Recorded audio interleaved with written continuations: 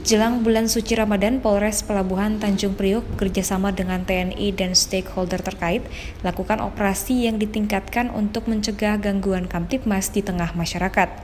Dalam operasi ini, petugas berhasil mengamankan 100 buah knalpot yang tidak sesuai standar dan juga 959 botol minuman keras berbagai merek.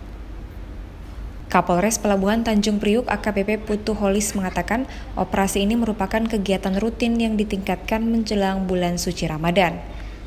Selain mengamankan barang bukti, petugas juga mengamankan enam orang tersangka yang kedapatan menjual minuman keras tanpa izin.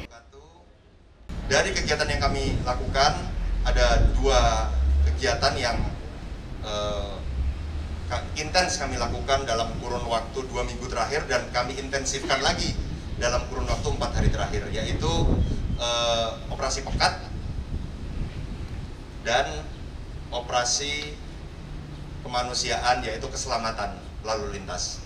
Dari hasil dua kegiatan tersebut, kami telah berhasil uh, melakukan penyitaan terhadap 959 botol dan kaleng minuman keras berbagai jenis dan kami berhasil eh, mengamankan